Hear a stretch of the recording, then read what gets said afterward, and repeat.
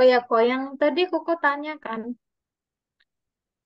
yang bukti kerjakan skripsi sendiri tuh. Ya, Kalau kalau aku lampirkan jurnal yang eh jurnal jurnalnya boleh nggak kok? Kayak jurnal penelitian terdahulu yang aku download. enggak, Nggak boleh. enggak boleh. Tunjukkan file Excel yang sudah kamu kerjakan saat kamu rekam jurnal. File Excel. Berarti yang olah data itu ya?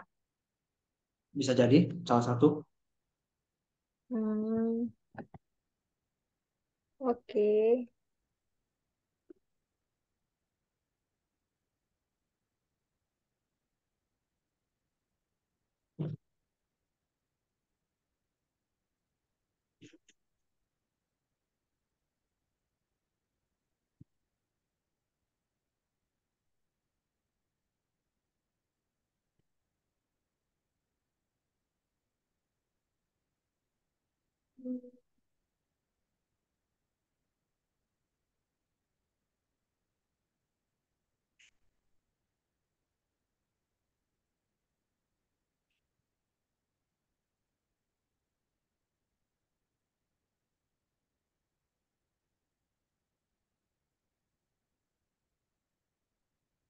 Satu lagi kok. Kalau mau tanya apa di, lagi? eh, kalau ditanya kenapa variabel X-nya diukur dengan operasional variabel yang yang aku lampirkan nih, itu aku jawabnya kayak misalnya kan kinerja keuangan kan diukur dengan ROA. Berarti aku jawabnya karena ROA tuh gini-gini gitu ya kok. Iya, Hmm. Dudukin. Kalau penelitian terdahulu juga pakainya ROA. Hmm. Oke.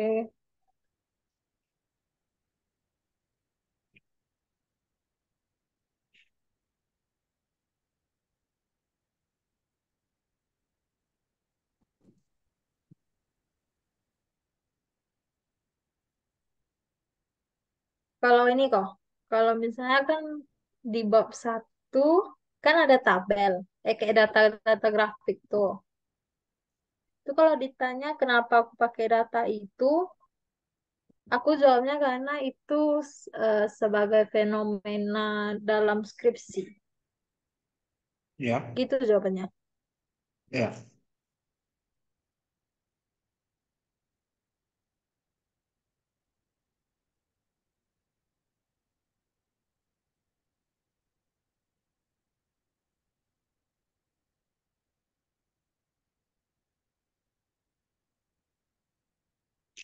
Kalau ini kok yang kenapa variabel, kenapa hasil penelitiannya tidak signifikan, sama signifikan. Itu kalau aku tunjukin tabel hipotesis saja boleh kok. Itu salah jawabannya. Itu kan Jadi kamu jawab jawab, secara jawab statistik. ses oh, Selagi yang, tidak yang tadi. pertanyaan, selagi pertanyaannya bukan tentang statistik, jangan jawab pakai statistik. Jadi Pakai bahasa ilmu akuntansi. berarti kayak logika ya. Mm-mm. Kan sudah tertulis di pembahasan.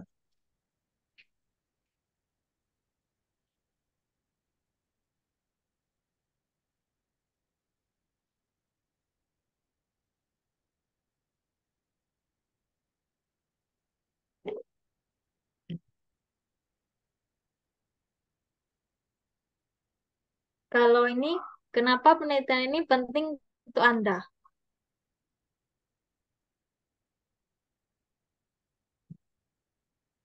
Ulangi, pertanyaannya apa?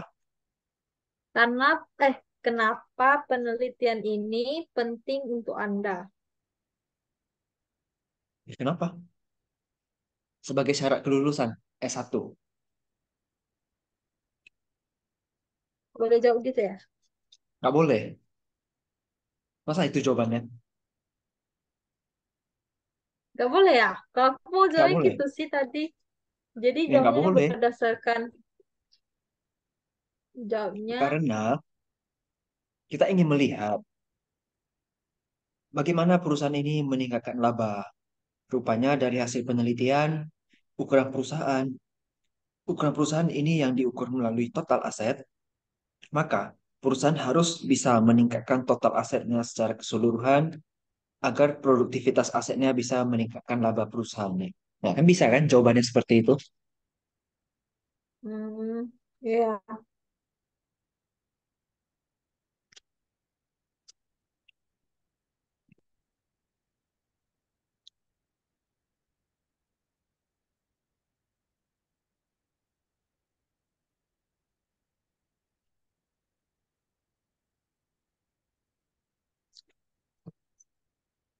Terus coba jawab pertanyaan yang lain, yang dari 15 soal itu.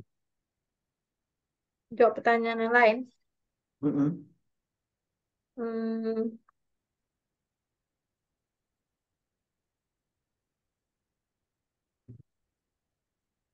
variabel Y berapa persen yang dijelaskan oleh variabel X? Itu yang uji uji apa? Koefisien determinan yang lima koma empat persen.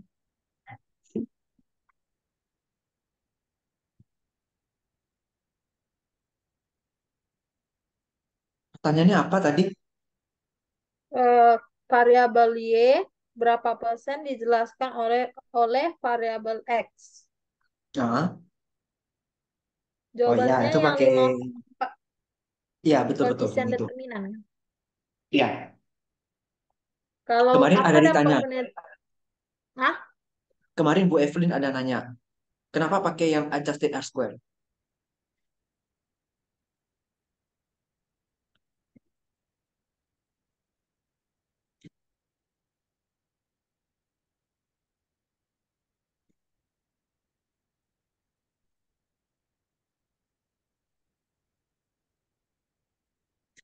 Kenapa pakai yang R square tuh ya? Kalau aku aku sebelum jawab aku nengok skripsiku dulu boleh nggak kok? Boleh, Jadi baca dulu baru jawab boleh kan? boleh. Karena bentar ya.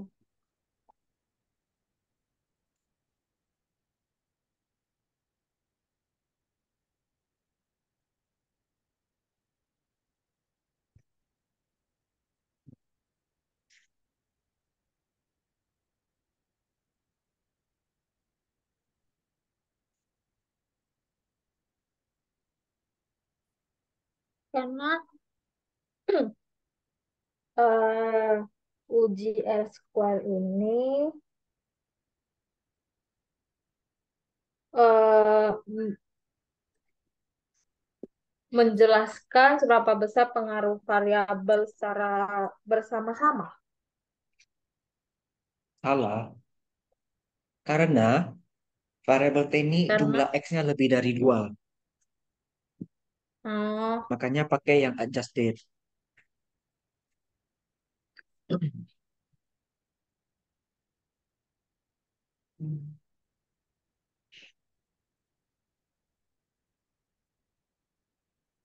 Apalagi pertanyaannya?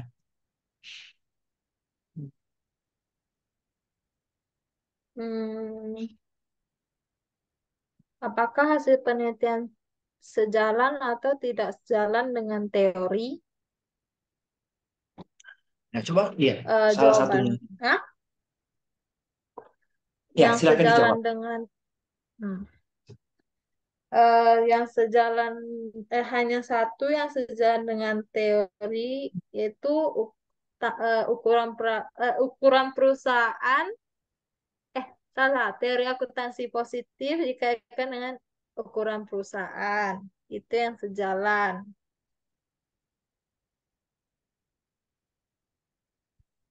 yang Alasannya, ke yang al- selain itu alasannya apa alasannya tadi?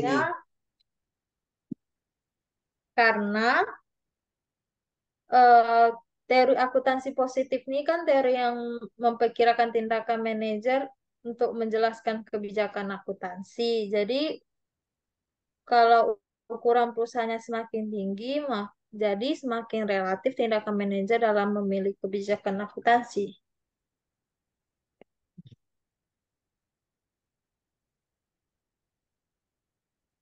Lalu,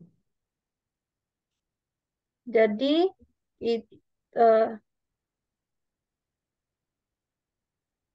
kalau yang tidak sejalan itu eh, variabel struktur modal, tangibility, green accounting, dan kepemilikan asing itu tu- tidak sejalan. kenapa tidak sejalan? Kalau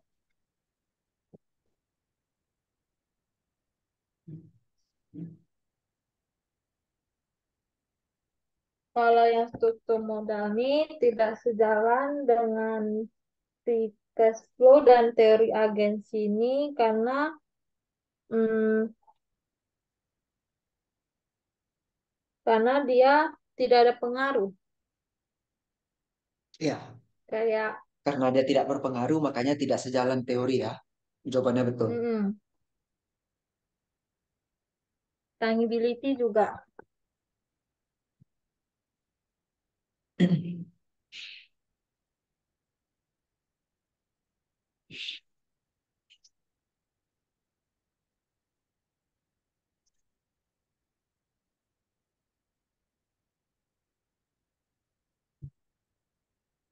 Kalau Terus ini kok pertanyaan lain apa? Ya. tahapan analisis mana yang paling memberatkan Anda? Mm-mm. Itu kalau aku jawabnya uji normalitas karena hasilnya tidak normal. Bisa. Jadi jawab gitu aja. Ya. Sama ini kok. Apa hasil penelitian sejalan atau tidak sejalan dengan fenomena? Mm-mm. Apa jawabannya? Jawabannya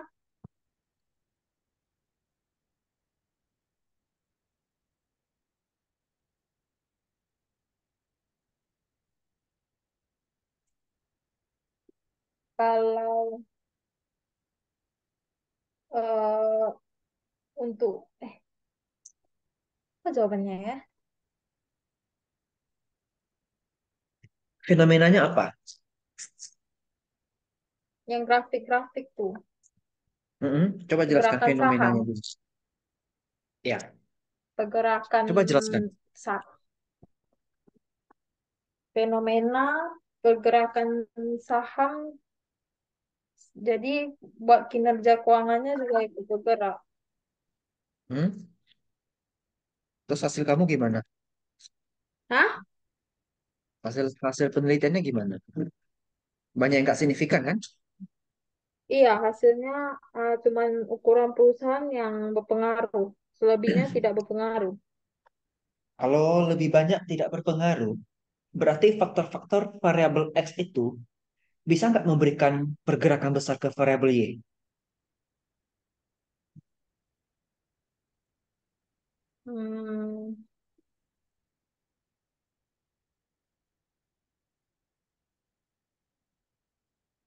Ya apa nggak tadi bisa, kok? Teni. Sekarang variabel Variabel X oh ya kamu kan. kan banyak yang tidak signifikan. Hmm, Kalau tidak signifikan, berarti mereka nggak bisa memberikan dampak besar ke variabel Y. Setuju? iya, setuju. Karena itu, variabel Y-nya nggak bisa banyak gerak. Hmm, jadi Sekarang yang terjadi, sejalan, sekarang yang terjadi variabel Y-nya bagaimana? Naik turun atau stabil? nggak stabil, Gimana? tidak stabil. Tidak stabil. Berarti sejalan atau tidak sejalan hasil penelitiannya dengan fenomena? Hmm, tidak sejalan. Coba ya, saya Eh, coba pikirkan dulu. Sejalan lah.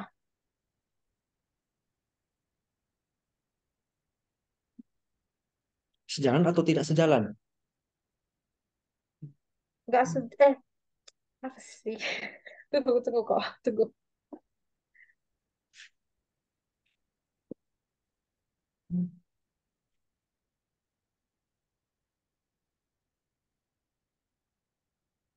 Nggak sejalan lah kok. Kan dia nggak berdampak nggak terhadap Mm-mm. kinerja keuangan. Ya, udah paham logikanya. Sudah.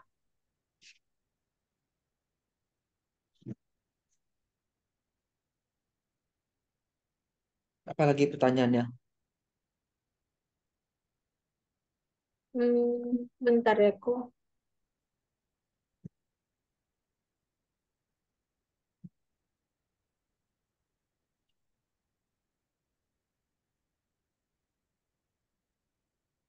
Teori apa yang mendominasi hipotesis Anda?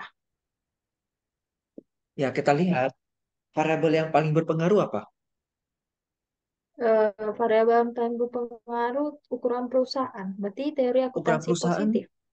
Ya, betul.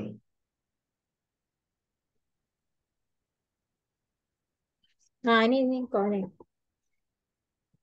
Kenapa harus pakai A? Jika hipotesis Anda ada, ada arah, kenapa harus pakai arah? Jika hipotesis Anda tidak ada arah, kenapa tidak mau pakai arah? Nah, ini pakai arah hipotesisnya kan? Iya, Kenapa harus pakai arah?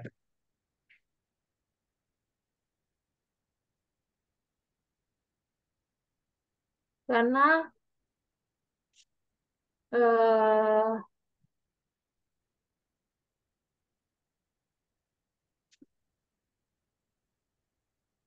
karena eh, kalau pakai arah itu memprediksi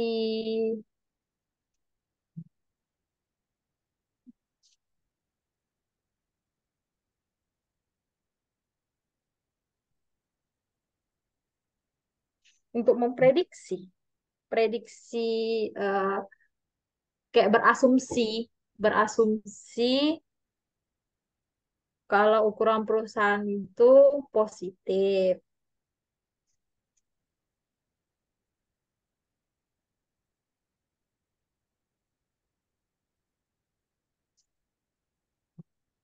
Ini jawabannya kok ragu-ragu ya?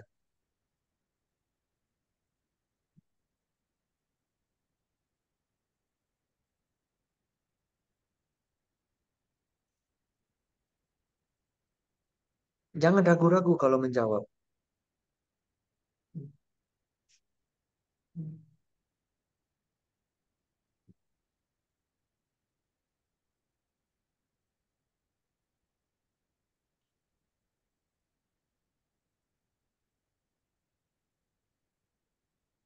Eh, coba aku menjawab ya kok. Karena eh, kenapa harus pakai arah? Karena eh, untuk berasumsi apakah hipotesis tersebut eh, berpengaruh atau tidak. Lalu ad- eh, ditambah dengan ditambah dengan eh, pendapat dari penelitian terdahulu. Bisa.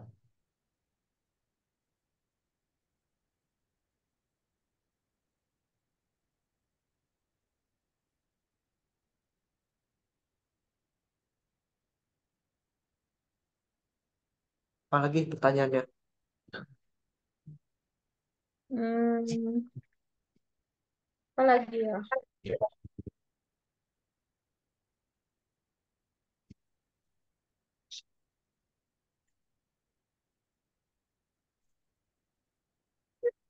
Ini siapa pengujinya besok? Saya lupa. Eh, Pak Yusrija sama Pak Fadrul. Ya, nanti saya kirimkan pertanyaan mereka ya ke grup. Shirley sama siapa?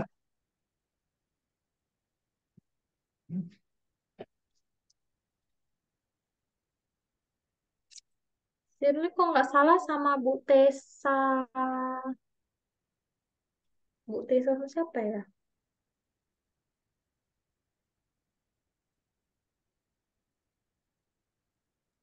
Aku ya, Bu Tesa sama Bu Suhanti kok.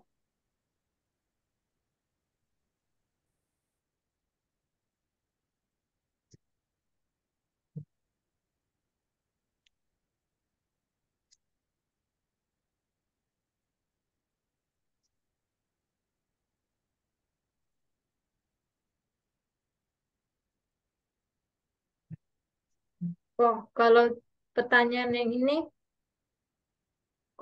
kontribusi penelitian yang paling dominan ke mana? Apa? Coba ulangi. Kontribusi penelitian yang paling dominan ke mana? Oh. Kalau hasilnya banyak tidak signifikan berarti bisa ke akademisi.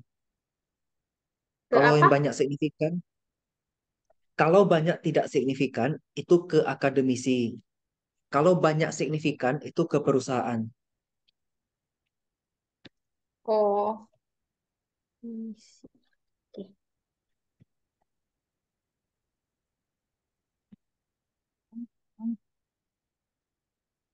Kalau yang motiva eh, motivasi penelitian ini seperti apa? Berarti yang keunikan tuh kan kok. Iya,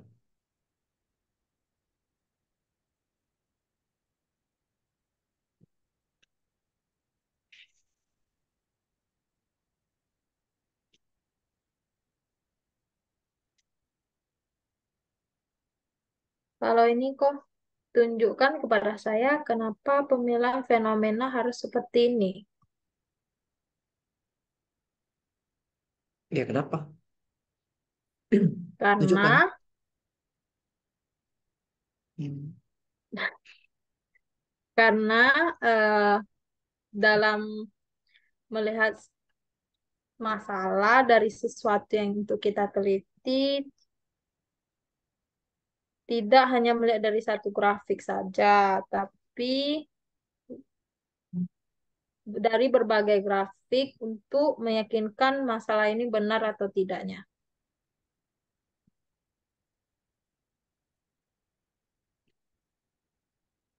Gitu kan?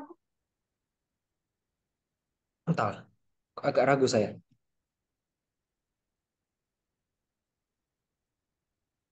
Kan dia pertanyaannya kenapa fenomena harus seperti ini, berarti dia tanya kenapa grafiknya harus seperti ini. Enggak gitu juga sih. Apa fenomenanya harus seperti itu? Ya karena informasi yang kita butuhkan ada di sana nggak? Ada. Ya itu dia jawabannya. Ya coba kembangkan pakai kalimat sendiri untuk elaborasinya.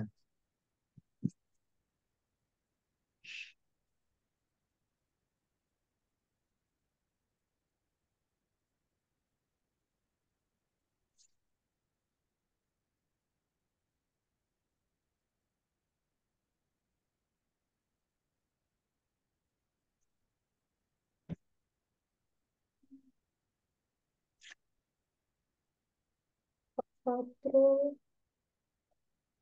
yang Pak Yusrija nggak ada ya kok. Apa? Pak Yusrija. Oh, nggak ada. Saya jarang sama dia.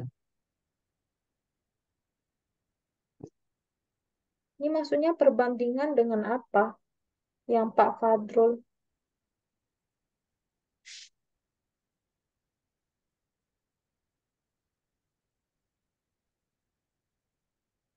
Kalau LQ45 itu perusahaan yang terdiri, eh, yang terdiri dari 45 perusahaan kan?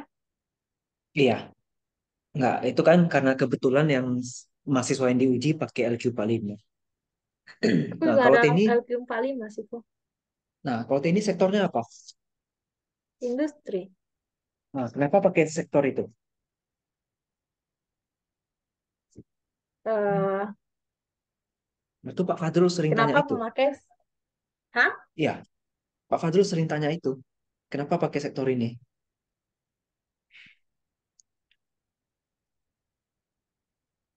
Karena, aduh, aku soal apa ya? Karena sektor atau eh, karena sektor industri ini salah satu salah satu sektor yang ada di Bursa Efek Indonesia. Ya, nggak boleh gitu jawabannya. Jadi, bentar-bentar.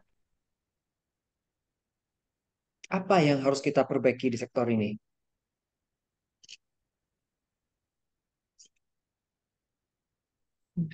Pertumbuhan pertumbuhan ekonominya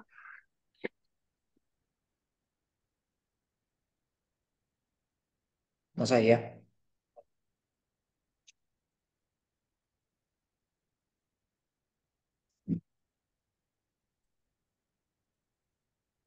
pertumbuhan labanya biar lebih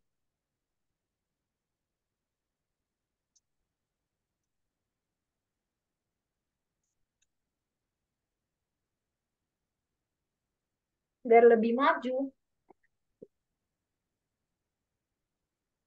Kok jawabannya rada-rada nggak benar gitu ya?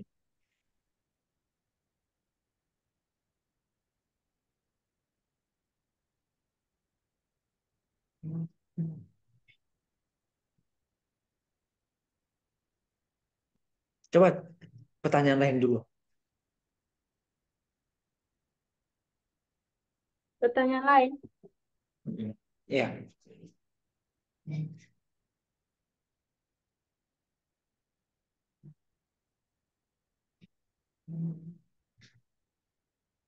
ROA bagusnya tinggi atau rendah? ROA bagusnya tinggi.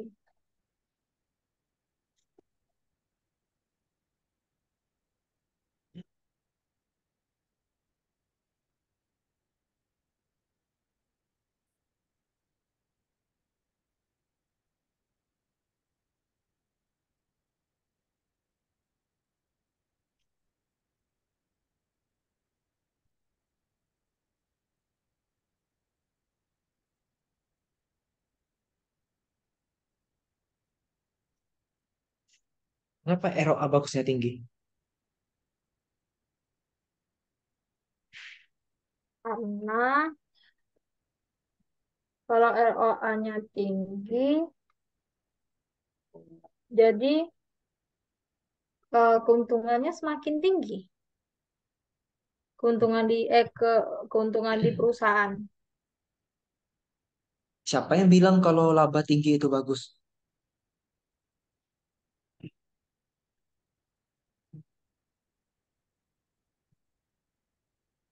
Kalau labanya eh, tinggi, berarti perusahaan untung lah.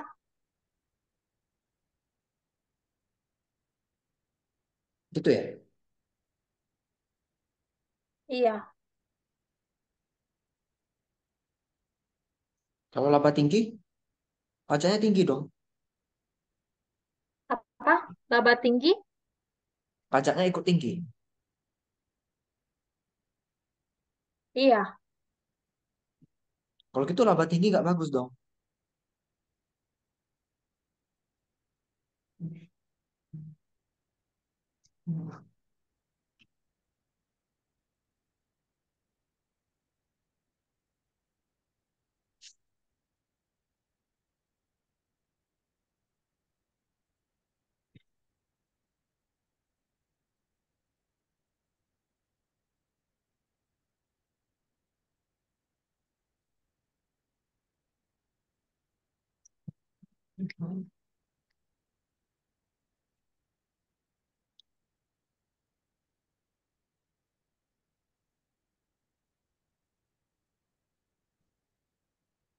Gimana, Teni? Ini saat ujian, mana tahu ada penguji suka memutar balikan fakta seperti itu, kamu jangan ragu.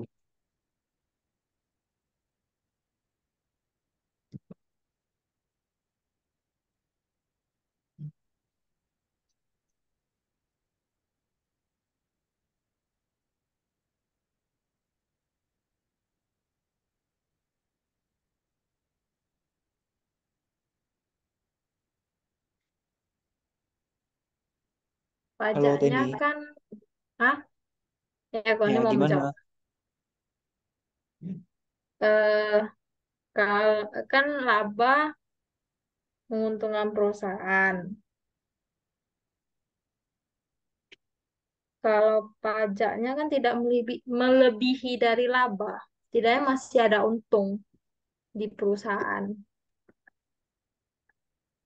Ya, cobalah dipikirkan logikanya baik-baik. Ada pertanyaan apa lagi?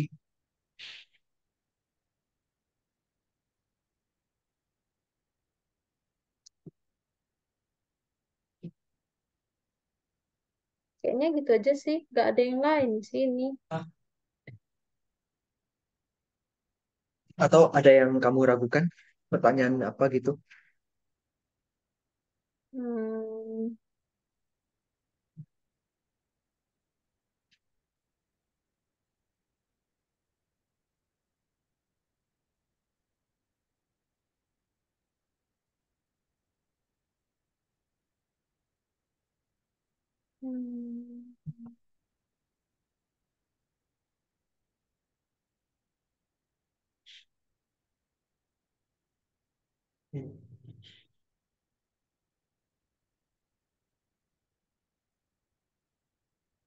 kayaknya nggak ada sih.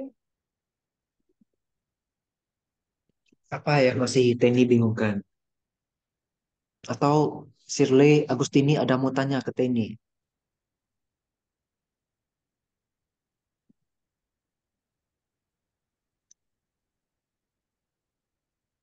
Diam aja mereka berdua. Lagi memikirkan jawaban kayaknya. Ada kok, Hmm. semangat aja ya Temi. Thank you. Agustini kapan sidang? Katanya hari Rabu kok. Agustini bukannya berbarengan daftarnya kemarin ya? Iya, kami barengan berlapan kok, tapi dipisah. Empat-empat jadinya. Oh, Selasa empat, Rabu empat. Ya udahlah, mau gimana lagi? Teni kan urutan 130-an. Kok bisa tiba-tiba besok sidang? Kan aneh itu. Iya, benar-benar aneh. Udah, Teni, ada lagi yang mau ditanya? Zoom-nya udah mau habis pula. Ada kok. Teori, Udah ya. teori kok aku agak bingung.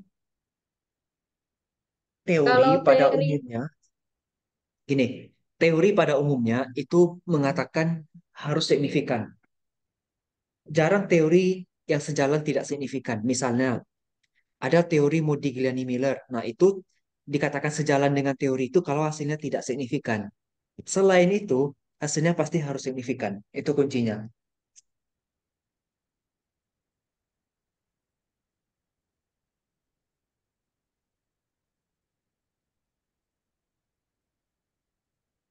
Berarti punya aku rata-rata nggak nggak sejalan ya. Iya, Cuman satu yang sejalan. iya.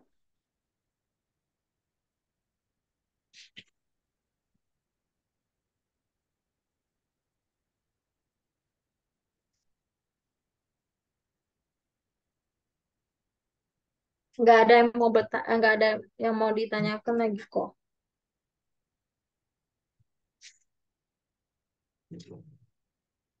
Udah, nggak ada. Kita close karena Nggak ada. Zoom-nya juga sudah 35 menit lagi. Ini versi gratis kayak gitulah. Oke kok.